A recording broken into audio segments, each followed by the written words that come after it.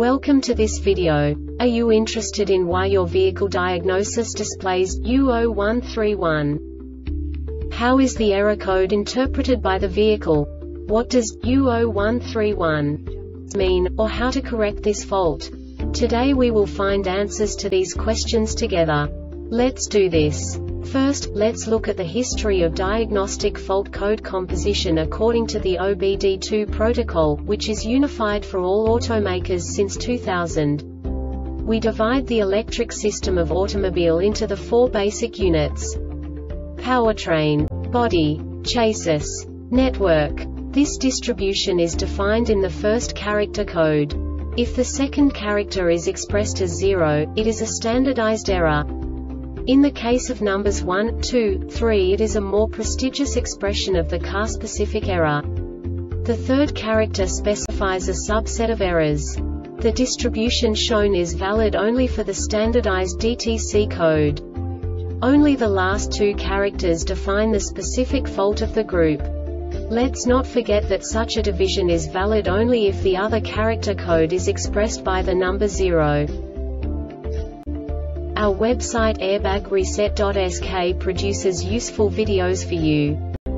You do not have to go through the OBD2 protocol anymore to know how to troubleshoot any car breakdown. You will find all the diagnostic codes that can be diagnosed in a Toyota vehicles. Also many other useful things. The following demonstration will help you look into the world of software for car control units. You unbelievably can move the video a bit further.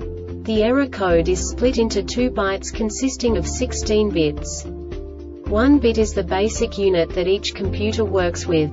The bit has two logical states. 0, low level, 1, high level. By combining the first two bits, the basic character of the error code is expressed. The next two bits again determine the second character. The last bit styles of the first byte define the third character of the code. The second byte is composed of a combination of 8 bits. The first 4 bits determine the fourth character of the code.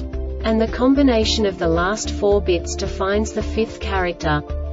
A single byte conceals 256 possible combinations. We now know in what way the diagnostic tool translates the received information into a more comprehensible format. The number itself does not make sense to us if we cannot assign information about it to what it actually expresses. So, what does the diagnostic trouble code U0131 interpret specifically Toyota car manufacturers?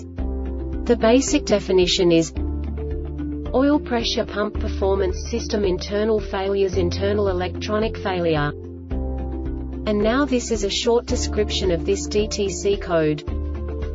The differential electronic module DEM checks the performance of the oil pressure pump. The control module compares the current strength from the oil pressure pump to the predefined parameters. The diagnostic trouble code DTC is stored if the control module detects that the amperage through the oil pressure pump is greater than 05A when the pump is off incorrect value lasts longer than 30 seconds. The control module's test for the diagnostic trouble code DTC starts in the event of ignition switch position position 2 the oil pressure pump is switched off note.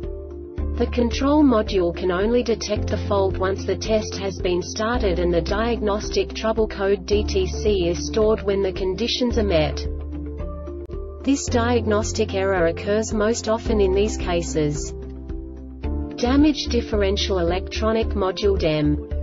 The Airbag Reset website aims to provide information in 52 languages. Thank you for your attention and stay tuned for the next video.